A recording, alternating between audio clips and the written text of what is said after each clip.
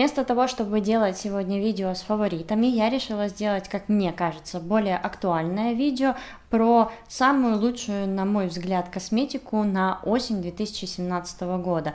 И это та косметика, к которой у меня больше всего будет тянуться рука этой осенью. Но перед тем, как мы с вами перейдем непосредственно к перечислению продуктов, а, если вы здесь впервые, конечно же, подписывайтесь на мой канал, чтобы не пропускать видео в будущем. Для этого всего лишь достаточно нажать там внизу подписаться. Также, если вам понравится это видео, не забудьте поставить мне палец вверх. И у меня, в принципе, все, поэтому давайте приступать к обзору. Так как мы с вами переходим уже в более холодную погоду, я считаю, что самые лучшие две тональные основы, которые вот мне сейчас идеально подходят, это вот эти вот две. Первая из них это Bourjois Healthy Mix а, и вторая Kiko Skin Tone. На мой взгляд, эти две тональные основы идеально подходят для любого типа кожи, кроме, наверное, очень жирного типа кожи. Покрытие у обеих этих тональных основ от легкого до среднего приблизительно. И вот действительно мне кажется, что в такой период, когда кожа привыкает к жаре, а тут резко начинается похолодание и она начинает сохнуть, по крайней мере у меня именно так происходит, то они очень комфортно ощущаются на лице, и с ними я могу проходить целый день, и при этом нет ощущения дискомфорта, сухости, и в то же время стойкость очень хорошая. Что же касается консилера, то это тоже неотъемлемая часть макияжа лица. А я вам могу здесь посоветовать два варианта. Первый это классика, наверное, уже YouTube. Это консилер от Tarte, который называется Shape Tape. Он способен перекрыть, наверное, большинство недостатков на лице, в том числе числе и темные круги под глазами или какие-то прыщики и какие-то другие несовершенства. А, но а, если у вас кожа под глазами достаточно сильно сохнет, то, возможно, вот это не будет самым лучшим вариантом, потому что а, он может немножко зону эту подсушивать. Поэтому, если вы страдаете от того, что у вас сохнет зона под глазами и подчеркиваются какие-то морщинки или просто создается дискомфорт, я вам советую обратить внимание на консилер от It Cosmetics, который называется Bye Bye Under Eye. Он очень кремовый, он прям вот как, я не знаю, масляный, такой вот тягучий масляный консилер, даже через дефис, наверное, корректор.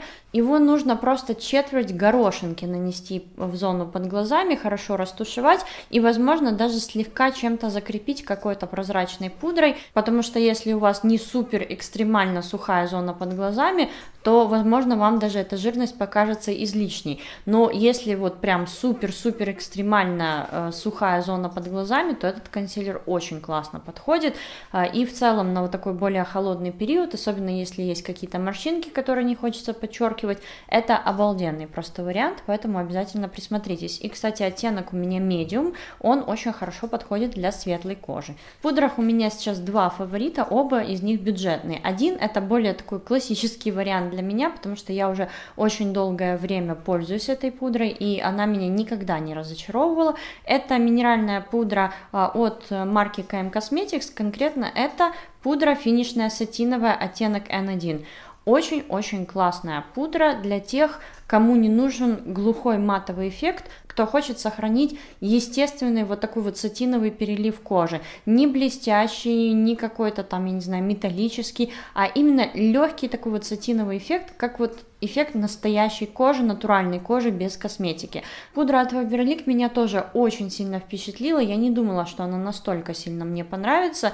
А, это пудра под номером 6222, э, и она просто незаметная. Вот по-другому я ничего не могу сказать. Здесь в комплекте идет вот такая вот пуховка, и именно ей я и наношу эту пудру. Я вот так вот сбиваю основную пудру, которая на ней есть, и вот остатками этой пудры прохожусь практически по всему лицу. Она убирает вот такое наглое жирное сияние, но в то же время оставляют все равно какую-то естественность на лице. Не знаю, как вы, но я себя не представляю без бронзера в любое время года, и осенью мне особенно хочется продлить вот этот летний эффект на лице. Бронзер даже не то, что имитирует загар, он скорее возвращает жизнь вашему лицу, по-другому даже не могу выразиться. После нанесения тональной основы все лицо становится более плоским, теряются все рельефы, и бронзер это как раз-таки тот продукт, который ее возрождает. И э, я сейчас хочу вам порекомендовать свой давний фаворит. Это вот такая вот четверка от Gosh. Э, называется он Contour and Strobe Kit. И у меня оттенок 1 Light. Потрясающий набор, здесь есть все, что только можно, но самый-самый мой любимый продукт здесь это, конечно, бронзер. Я не знаю, видно вам или нет, но я его уже дотерла до дырочки. Я сделала глупость, положила его, переложила его в другой ящик и на время о нем забыла, но потом, когда я его нашла, снова начала пользоваться, заново влюбилась, и все, я теперь не хочу его выпускать из рук, потому что бронзер потрясающий, он не рыжий, и он не слишком холодный, он вот такой вот действительно нейтральный, красивый. Что же касается остальных продуктов, которые здесь есть, они тоже все очень хорошие, ну, возможно, за исключением румян, потому что они скорее никакие, потому что их практически не видно у меня, по крайней мере, на коже, и кому бы я их не наносила, ну, какой-то глобальной разницы они не делают. А, хайлайтер здесь тоже очень хороший, он максимально деликатный, а, очень приятный сатиновый, такой вот ненавязчивый, скажем так, хайлайтер, э, очень классно подходит для реальной жизни. Если вы хотите эффекты Инстаграма, это не тот продукт, который вам понравится, но если вам нужен просто приятный и правдоподобный highlight для жизни, это очень хороший вариант. Что же касается глаз, то я думаю, я вам Америку не открою, сказав, что э, продолжают быть актуальными э, теплые оттенки теней, и осенью я 100% буду больше всего использовать либо вот эту наборную палетку теней от Colourpop. Это все однушки, которые я собирала сама, то есть выбирала оттенки на сайте и из них составляла свою собственную палетку, скажем так. А, либо еще тоже я могу вам порекомендовать по очень хорошей цене, потому что здесь каждая тенюшка стоила 5 долларов, и вы можете посчитать, во сколько обошлась не целая такая палетка. А в то же время очень хороший вариант – это палетка от Morphe, которую сделала Джеклин Хилл. Я рекомендую только эту палетку из всех палеток Morphe, которые есть на сайте, потому что все остальные мне качеством не нравятся. Эта палетка гораздо лучшего качества, стоит она тоже больше, чем э, палетки на сайте Morphe, но в то же время, если посчитать, что вы получаете за 38 долларов, а вы получаете 35 оттенков, то каждый из этих оттенков получается по очень-очень-очень очень бюджетной цене. Если вы любите теплые оттенки с ноткой экспрессии, потому что здесь тоже есть и несколько ярких оттенков, то у вас эта палетка точно не залежится. А сегодняшний макияж я тоже делала с помощью этой палетки, как и, наверное, большинство макияжей за последние несколько месяцев. Что касается губ, то, как всегда, осенью это бордовые оттенки, винные оттенки, какие-то более глубокие коричневые оттенки. У Гош есть линейка помад, которая называется Matte, и конкретно эти три оттенка для меня лично воплощают осень. Потрясающая просто серия помад, и хоть она и называется матовой, но это не тот мат, которого нужно пугаться, который пересушивает губы. По нанесению она ощущается как просто обычная классическая кремовая помада, но в то же время на губах выглядит таким правдоподобным матом, э, слегка, может быть, э, с более таким вот увлажненным финишем. Мне очень нравятся эти помады, потому что они пигментированы, очень комфортно ощущаются на губах. Возможно, они не самые стойкие, но в то же время э, с ними легко поправлять макияж губ, то есть они нормально наслаиваются, если где-то чуть-чуть вы там помаду съели или выпили кофе, она исчезла у вас с губ, э, поэтому это не тот вариант, как с жидкими помадами, когда если чуть-чуть уходит, то если вы сверху наносите, то получается кошмар. Оттенки корицы и, и же с ними, они более адекватно выглядят на губах, в том числе могу вам порекомендовать тоже вот в этой вот коричневой линейке помаду от Colourpop, ультра матовая версия, и оттенок называется Speed Dial. Она в тюбике выглядит совершенно не страшной, но в то же время на губах она высыхает немножко темнее, чем вы видите ее в тюбике. Я вам обязательно покажу на нее сводч. Мне очень нравится, как она выглядит, и в осенних макияжах замечательно подчеркивает образ. Осенью нам, конечно, никуда не деться от рубашек в клетку, платьев в клетку, вот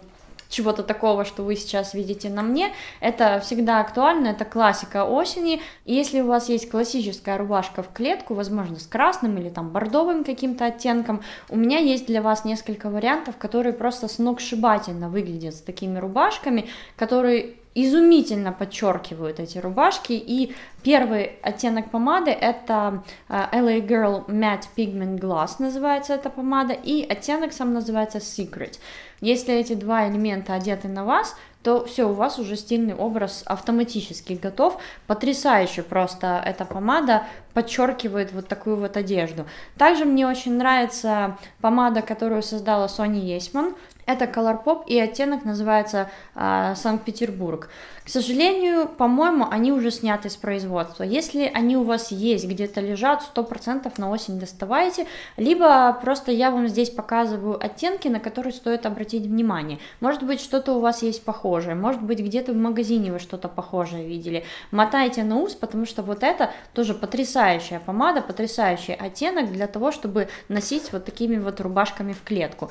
Если вы любите более глянцевый эффект на губах, потому что глянец сейчас возвращается. Я сплошь и рядом вижу, что э, используются уже не только матовые помады, но также и глянец добавляют, и глянец с шиммером тоже добавляют. Э, я вам могу порекомендовать еще вот такой вот блеск для губ.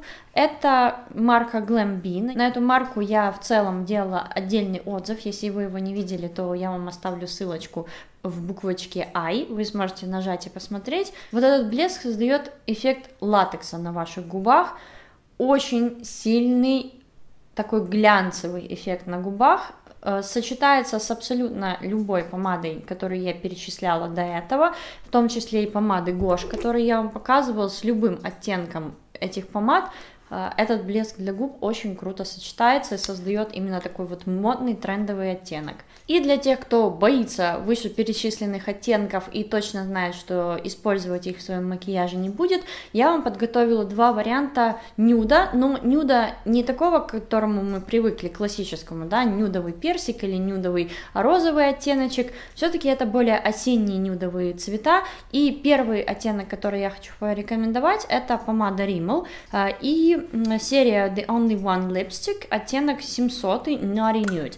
Эта помада хоть и нюдовая, но она имеет ярко выраженный такой вот сливовый холодный подтон, и осенью это очень актуально. И из той же серии, а, тоже такая нюдовая помада, но со сливовым таким холодным подтоном. Это помада от Colourpop Lipsticks и оттенок здесь Lumiere. Если вам страшно использовать темные оттенки на губах, то попробуйте вот эти, возможно, они вам понравятся и немножко разнообразят ваш макияж. Ну вот, собственно, и все. Я очень надеюсь, что это видео вам понравилось и было для вас актуальным. Возможно, что-то возьмете на заметку. Если у вас есть какие-то фавориты, которые вы считаете must для осени, обязательно пишите в комментариях. Напомню, что если это видео вам понравилось, не забудьте поставить мне палец вверх, подписывайтесь на мой канал, и мы с вами увидимся в следующих моих видео.